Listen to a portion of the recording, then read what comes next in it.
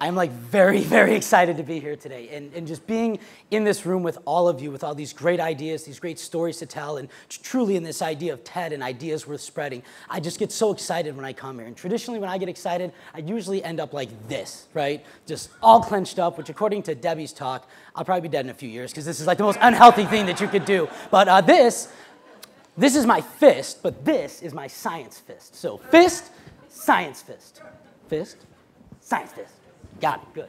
Uh, if you could bring it back all the way to the first slide, who's ever back there, it's like the Wizard of Oz, but back to the beginning slide, please. So in order for us to really understand what this science fist is, and before I lose all credibility with the audience for just being crazy, I really believe that people and our ideas are a result of the people and events that we encounter within our life, both positive and negative. In education, they call this the constructivist theory of education. We make meaning of what we encounter through the events and the people that we encounter. So for me, I like to go back to the beginning and I've worked very hard to develop this idea to how do we bring this idea of mapping our momentum. I've worked with very high level strategists, both here at IIT, universities across Chicago, private sector people to develop a means to really show you how to build momentum. So today, for the first time ever, I am very, very excited to prevail to you the bar graph. the simple bar graph, yes. It's so simple, but it's so powerful. Throughout our lives, we're always gaining momentum. Now, we always start at the beginning, which starts with birth. So I was very fortunate to be born into a very loving, supportive, caring family. My mother and father, probably the most hardworking people you'll ever meet. They're probably working right now and tomorrow and the rest of the week, what have you. More so than the love and the support, they taught me the ability and, and the importance of helping other people. Whatever you do in life, be of value to somebody else. For example, my two older brothers. If one of them would lock me in the dog cage, the other one would say, hey, at least give him a pillow while he's in there, right? so thoughtful. I so much appreciate that. So, second to your family, the other experience that you have as a child is schooling. You spend six hours a day there. This is where we go through experiential learning, constructing who we are within the context of our world. Am I the academic? Am I an athlete? Or I'm just the hyperactive kid that can't sit still? Or am I the wise ass cracking jokes in the back? Who are you? So, in order to look at this in my educational history, I like to look at my third grade report card.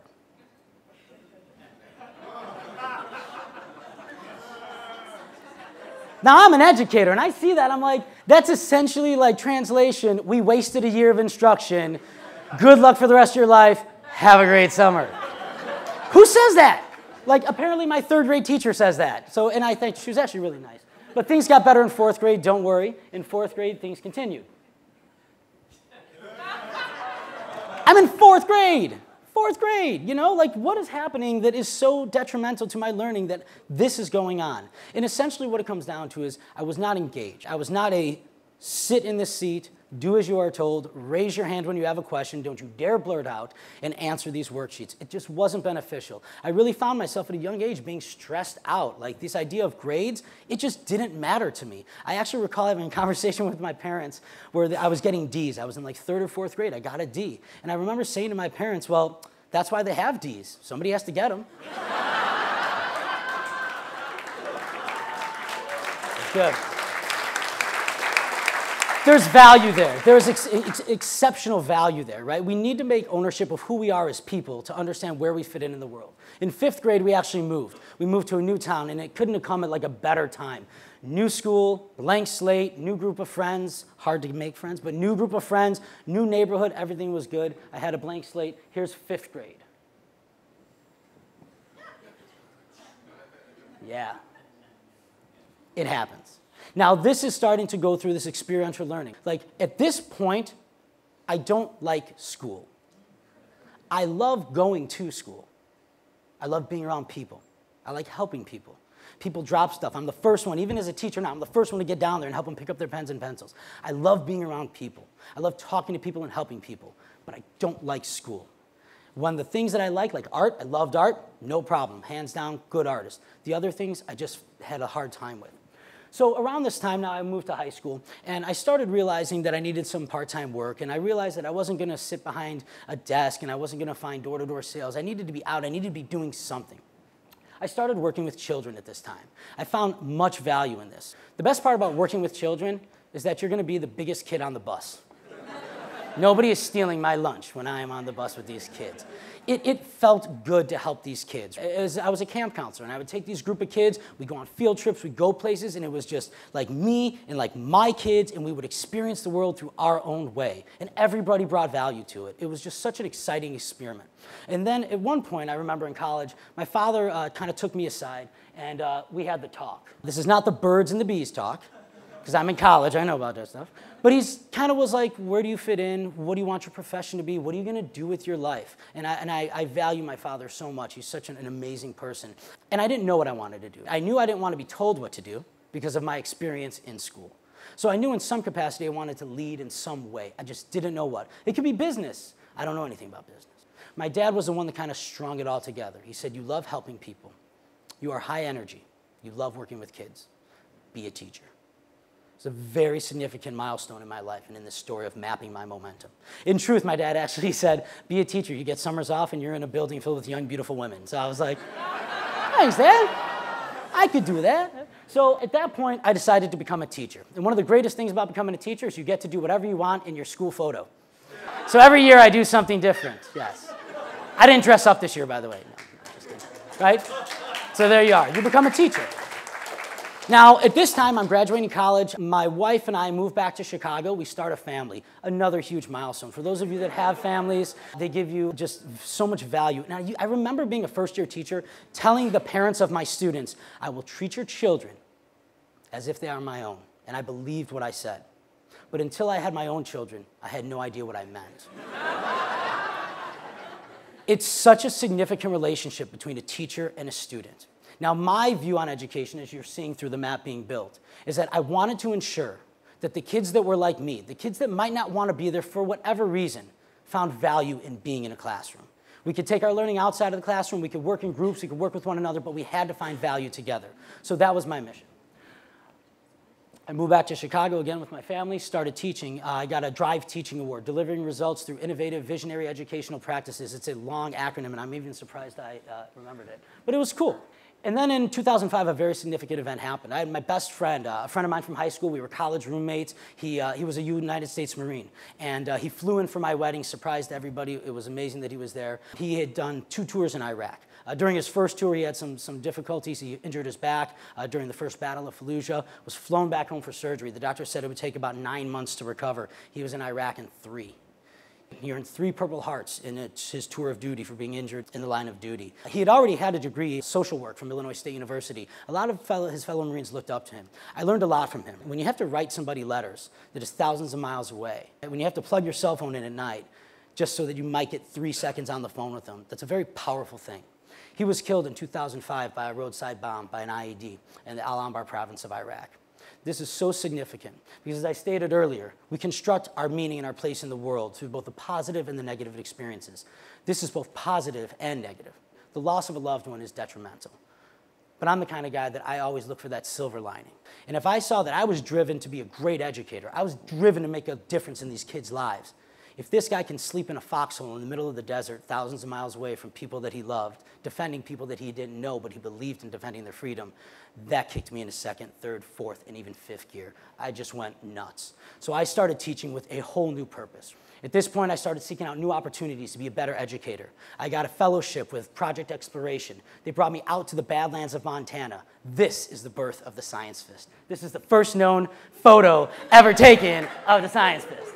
And what was really cool about this is that I was out in the middle of nowhere working on this paleontology dig with a famous scientist from University of Chicago, and I'm out there and I'm just so excited. It's like five in the morning, we're drinking like Sanka coffee in this little hotel in Wibaux, Montana, and I'm like, yeah, yeah, yes. And finally this guy, like day two, he's like, what's with you, man?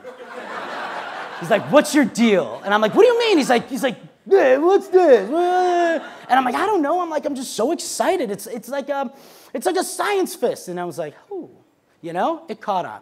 That fall, I came back to school. I started just preaching the science fist gospel. These kids that I worked in the neighborhood, in the struggling community on the Northwest side, they would come to science and they're engaged. They're excited. They're doing hands on inquiry based learning. And they'd be, I got it, science fist. Our science fair.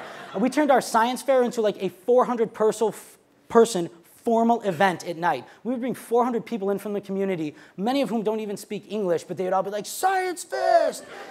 We knew we had something, and we knew that it was something worth capitalizing on for the benefit of the children. It was then that we started the Science Fist Foundation. And the Science Fist Foundation is dedicated to bringing at-risk students into the world of science through hands-on, after-school STEM mentoring programs. We do it in a really innovative way, a three-tiered approach. First, we partner. I'm a full-time teacher and I run a nonprofit. I don't have time to write tons of curriculum. So where was our value? Our value, again, was helping other people. So we developed this network, a professional network, the Museum of Science and Industry, the Illinois Institute of Technology, Shedd Aquarium, Chicago Ideas Week, all these amazing organizations. And we help them get in touch with the teachers. So we find teachers, we pair them up with a program that's already existing, and they get this after-school curriculum, they go back to their school and put on an after-school club. The second part is we enhance that opportunity by bringing in mentors. We have a phenomenal woman named Kate who works at Science Fist. She's the only other person that works at Science Fist besides me. And she is amazing. She goes to the schools, she's interacting with the kids. We're really helping build this experience for kids. We bring in STEM mentors. We try for scientists, engineers, doctors, people in the STEM fields to help bring value to these kids. And the third thing we do is we connect everybody. We have an online blog where all the Science Fist students all over the city and all these different neighborhoods are learning to blog and find value and power and voice in their blog and their after school learning opportunities. It's really cool. So, I came to IIT. I figured I needed more credibility. I can't just be the crazy bald guy with lots of energy trying to do something about Science Fist. I came here to pursue a master's degree in science education. After that point, I continued networking, developed lots of partnerships with all these organizations, plus tons, tons more. Some we just talk to and we figure out ways to strategize with one another. Other people, we actually instill their programs into other schools. People are finding value. And again, that common thread running from the time I was a kid all the way to teaching, and now post this, this era right now, it's all about helping other people find value. If Science Fist is successful, our partners and our students are successful. That's cool. Last year, I was awarded the Golden Apple Teaching Award for Excellence in Teaching. Um, and who was there to surprise me on that day? My mom and dad, my wife, my kids, the family that had stuck through me and stuck with me, showed me all this perseverance, help other people, be a good person, don't give up. It was really exciting to see them there that day. From this point now, here's data. This is our data.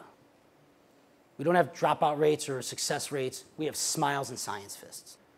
The saddest thing is I have not met yet, I have not yet met some of these students, but they're excited about STEM education. These are middle school students from struggling communities across Chicago.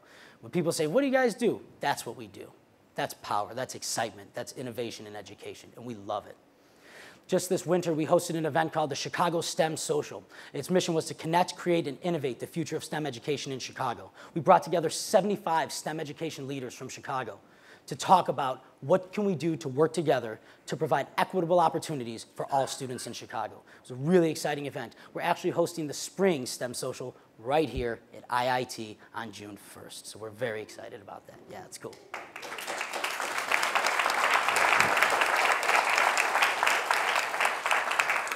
And then we're here today, TEDx IIT. Like, who, who wouldn't want to come to a TEDx event? That's momentum. That's good momentum, right? to close, so here's the idea. This is my momentum map. But everybody's got this. Everybody lives a life. Everybody has known, known the positive experiences, the people you've met in your life, both positive and negative, that experience and make who you are. When you ask people like, what do you do? Oh, I'm a structural engineer. Oh, you know, I'm a teacher. Well, that might be the things you do. Let us let not, we should not let that define us. We have all, we all have great ideas. Some not so great, but we all have ideas. The idea here is that everybody can go back in their life and they can find out who influenced me both positively and negatively. My contention here today, my idea we're spreading in the theme of TED, is that if you have an idea, you need to take that idea and get it off paper. Take your words off of a strategic plan. Get it out of a business model. Build it, you know, take it out of the cloud computing. You need to take those words and you need to live those words. You need to breathe life into your ideas. Because without that, you are not going to gain momentum for your ideas. You need to take those words, you need to take your five bars in your bar graph, if you will, you need to clench them in your fist, and you need to live those words. When you got this power, when you see me up here talking like this about this ridiculous thing called Science Fist, you know it's real. We're not a landing page on the web. We're not a strategic plan or a business model. We live this work. And when I do this, and when you feel this, and you see me acting like this, and you feel it too, and you can do this, that's how you gain momentum. Thank you so much for having me here today. Thank you so much.